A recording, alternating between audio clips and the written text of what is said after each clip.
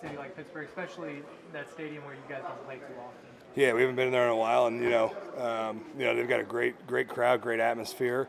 I think guys are looking forward to to get up there, and um, you know, a really talented defense, especially up front. So it's going to be a great challenge for us.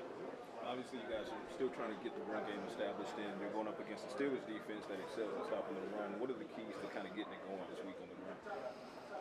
Just executing plays, really. I mean, coming off the ball, um, you know, and executing plays and, and, getting those backs on the second level. So, um, you know, we got to do a better job at that, and um, you know, I'm confident that we will. Yeah, he's got. I mean, well, one is motor. I mean, the guy plays extremely hard, and he's he's an all-day guy. So um, you're not going to get any freebies against him. So that's the first and foremost. And then um, he's got a couple moves that are pretty unique um, that you can tell everyone on their D line's trying to emulate because they they are good. And um, so, but but first and foremost, he's a, he's an all-day guy.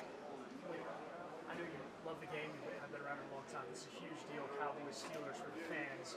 Do you have appreciation for the history and the two iconic franchises facing off? It's rare that the two teams play as well. It seems. Um, no.